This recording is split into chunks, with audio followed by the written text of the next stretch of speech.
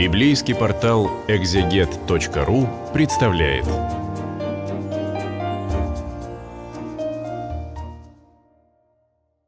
Здравствуйте, братья и сестры, все любящие чтение Слова Божия. Продолжаем с вами исследование книги Иова на библейском интернет-портале exeget.ru. И сегодня мы с вами рассмотрим 26 главу. И отвечал Иов и сказал, «Как ты помог бессильному, подержал мышцу немощного? Какой совет подал ты немудрому? И как во всей полноте объяснил дело?» Видим, что Иов отвечает Вилдаду и говорит о том, как бы с некой иронией, как ты помог бессильному и как поддержал мышцу. О том, что ты повторил, что я, в общем-то, знаю, что Бог вездесущ, всемогущий, всезнающий. Это снова такой призыв Иова к тому, что, в общем-то, человек, который попал в беду, он нуждается больше не в том, чтобы высматривали соринку э, да, в глазе его, а в брену своем не видели, а действительно нуждается в утешении. В то время слова Вилдада о божественном устройстве мира дают Иову повод выразить свое понимание и восхищение тем, как провиденциально Бог управляет действительно мирозданием. В самом деле, можно говорить в защиту Бога, но и не выдвигать обвинений было против Иова. Здесь вот свидетель Григорий Двоеслов, цитата, пишет, «Неуместную мудрость показывают те люди, которые пытаются казаться мудрее других». Да. От того большей частью и случается, что не умеющие быть смиренномудрыми говорят глупости. Конец цитаты. Мы помним, что в Евангелии есть такие слова в Священном Писании Нового Завета. И, и в Евангелии, так если я помню, что, по-моему, это, да, сам Господь Иисус Христос так и говорит, «Горе тебе, человек, который мудр в своих глазах, да, возвышающий себя, да, унизится, унижающий себя да возвысится». Поэтому так и говорит святый Григорий Двоеслов, неуместную мудрость показывают те люди, которые пытаются казаться мудрее других. Да. От того, говорит, они говорят часто глупости. Как это происходит здесь? И с Вилдадом, э, старающимся обвинить Иова в том, в чем он не виноват. Как говорят, без вины виноватый. Вот что он хочет сделать Иову. Далее мы видим пятый и шестой 4, 5, 6 стих, кому ты говорил эти слова, и чей дух исходил из тебя. Вот это очень важное такое замечание. Кому ты говорил эти слова? Первое, Иов говорит, во мне этого нет. И чей дух, чьим, чьим духом ты говорил? А, вот э, хорошие такие слова, как сказано у апостола Павла, Павла, испытывайте духов, от Бога ли они. То есть апостол Павел говорит, не всякому духу верьте, испытывайте бух, духов, от Бога ли они. Поэтому можно часто слышать сегодня в современном мире о всякой духовности, или, например, там вот, едешь, там, видишь там духи, во, во, воины духа, такие вот всякие там цитаты и всякие афиши. Всегда хочешь спросить, а какого духа эти воины? Да, потому что дух бывает разный. Не все, что с неба, то от Бога. И это надо помнить. Так и Иов говорит, каким духом ты сейчас говорил.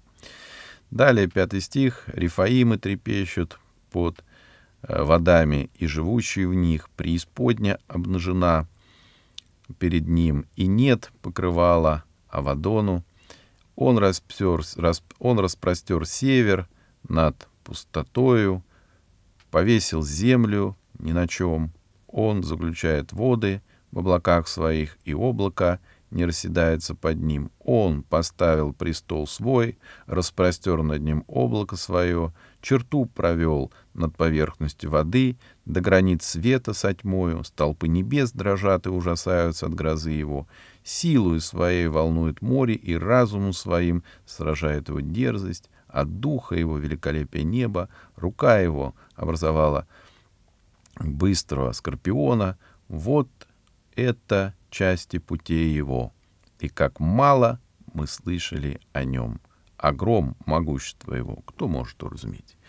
Так Иов говорит о том, что, в общем-то, Вилдат, ты для меня ничего нового не открыл. Я знаю о том, что Бог, Он вездесущ и всемогущ, и все им сотворено. И вот интересно, здесь есть в седьмом стихе слова 26.7 «повесил землю ни на чем». То есть мы видим, что эта книга на самом деле писалась за 1180, 1850 лет. То есть тогда уже э, понимание того, что Земля держится не плоская, и она не держится на трех китах и на черепахе, а что она подвешена ни на чем, то есть в невесомости. Это понимание, оно было с самого начала, как мы открываем книгу Священного Писания, э, сотворение мира, мы видели, там есть это слово «рака», что с еврита означает как пространство, или старемма с греческого тоже, так космос. Огромный космос, в котором Бог подвесил все небесные светила, Землю и Солнце и прочие-прочие планеты. Поэтому никогда не было у церкви и никогда у Израиля Ветхого Завета такого представления, которое часто приписывают люди, протечь церковь, что якобы вот мы там думали, что Земля держится плоской на черепахе, а Гагарин вот в космос полетел и увидел, что она круглая. Ну, я скажу, что это не так. Об этом мы знали еще намного раньше, за да, сколько там, 1800 и плюс от створения мира, да, за 7 тысяч лет более. Поэтому так пишет Иов, так и говорит. Рифаимы трепещут — под водами и живущие в них. Рифаимы в другом переводе, в греческом, звучит как огромные чудовища. Те, которые, то есть огромные животные большого размера, те, которые живут в море, о которых мы еще не знаем.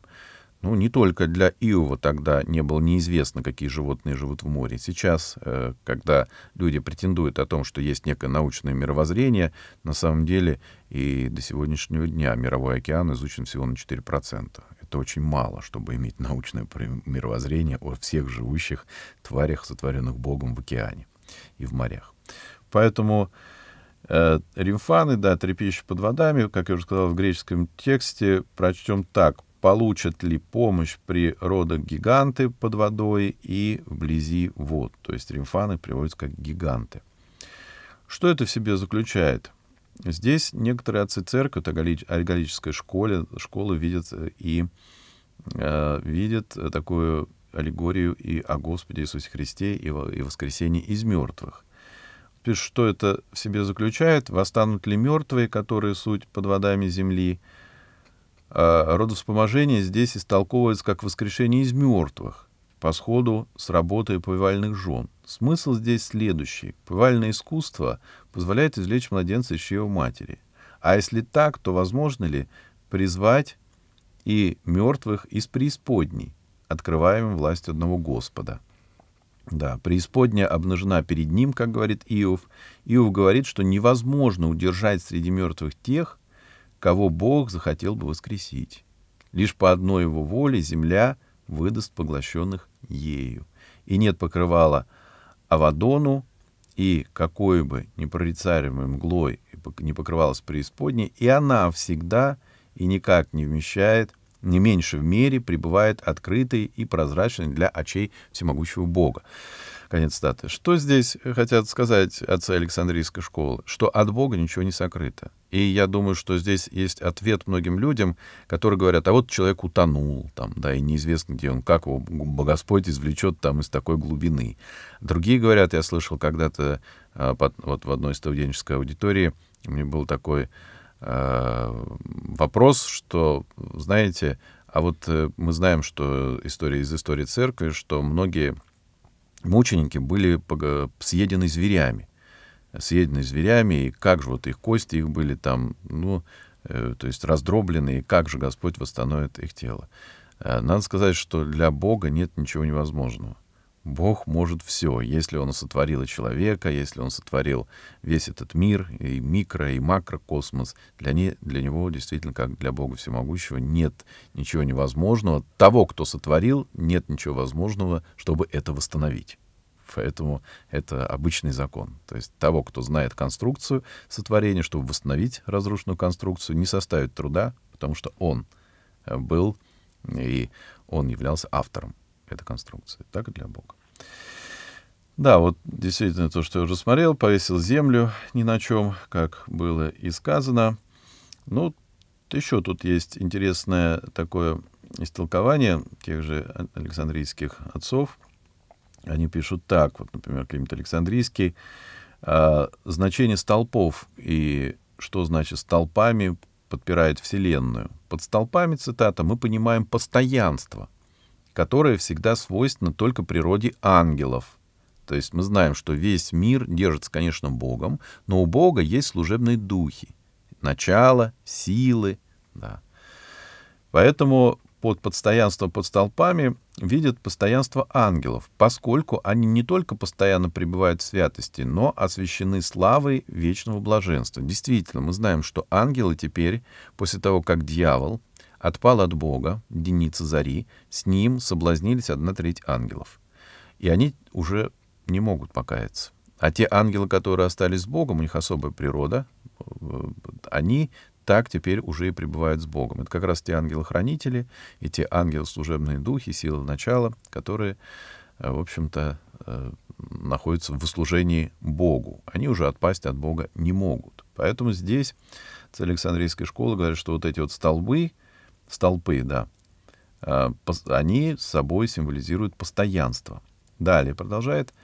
О грядущей, о грядущей неизменности людей говорит Сын Божий, Откровение, книга Апокалипсис 3.12. «Побеждающего сделаю столпом в храме Бога моего». Но и сама церковь, в которой есть собрание всех святых, за вечное постоянство в Господе именуется столб и утверждение истины. Мы помним, апостол Павел пишет послание к Тимофею и говорит, чтобы ты знал, как поступать в Доме Божьем, которое есть столб церкви Бога Живого, который есть столб утверждения истины. Итак, силою своей волнует море. В начале бытия мы читаем об этом, действительно, что Господь э, собрал всю воду в моря, и разумом своим сражает его дерзость. Нет полной уверенности, что этот гордый, являясь дьяволом, который действительно первым был сброшен Богом с высокого благословенного седалища на небесах, и о котором говорит пророк. «Ты не сложил гордеца, как пораженного. Продолжать дальше.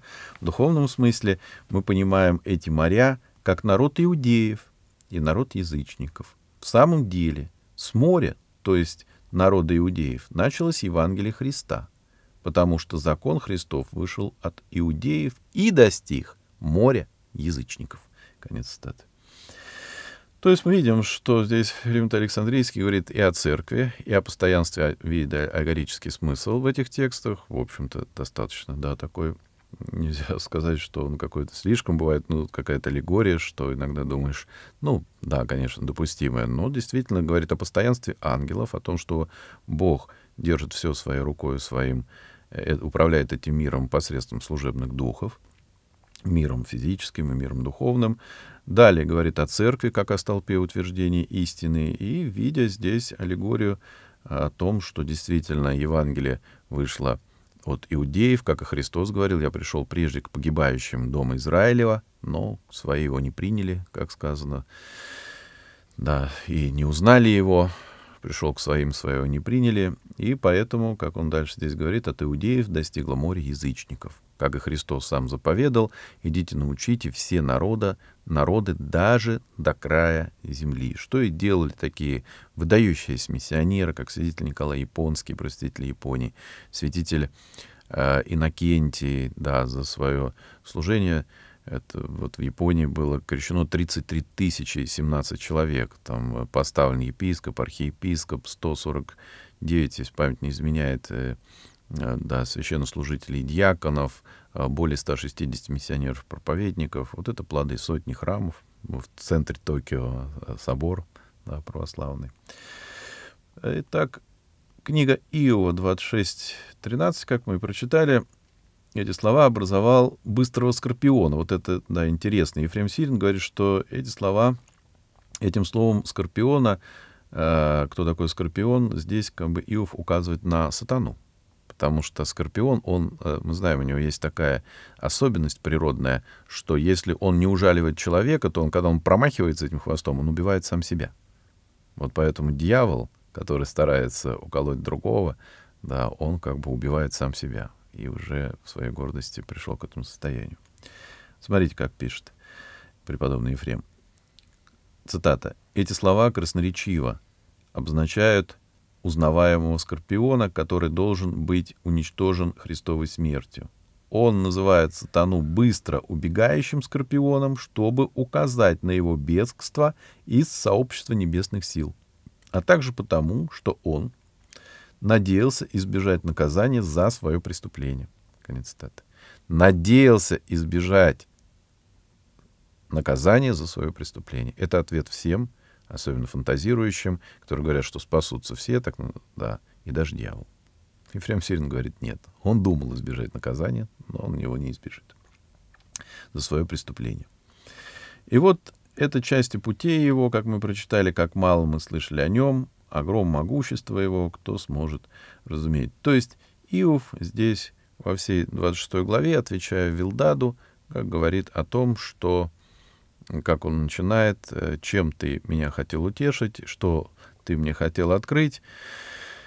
В общем-то, я ждал от тебя, он говорит, утешения, а вы занялись проповедью о том, что Бог всемогущий, всезнающий, всеведущий. Я это знаю, но от вас, как он говорит, я искал поддержки и сострадания. Так и сказано, как начинается эта глава, «Как ты помог бессильному, поддержал мышцу немощного». Это вопрос, на самом деле, ко всем нам. Как мы поддержали бессильного и как действительно помогли немощным.